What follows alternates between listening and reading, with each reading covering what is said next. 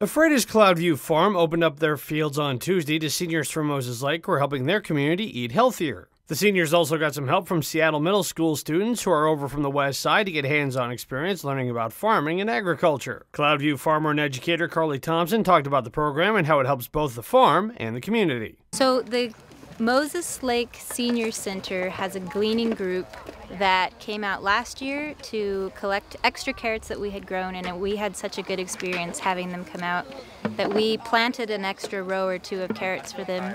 The Lakeside Middle School kids are here for an education week, and they're staying at the teepees at Smokiam, and they're just here to help out the gleaners and they dug 400 pounds of carrots that are being donated to Columbia Ridge Elementary School for their fundraiser. Cloudview Farm is a nonprofit organization and our mission is to promote healthy living and eating for people in Moses Lake, Soap Lake, and Ephrata, and this seems like a great way to do that. So that's that's the motivation for us is to get all these people out here getting connected to their food and eating good food and having a good time together. In Ephrata, Devin Higgins for iFiber One News.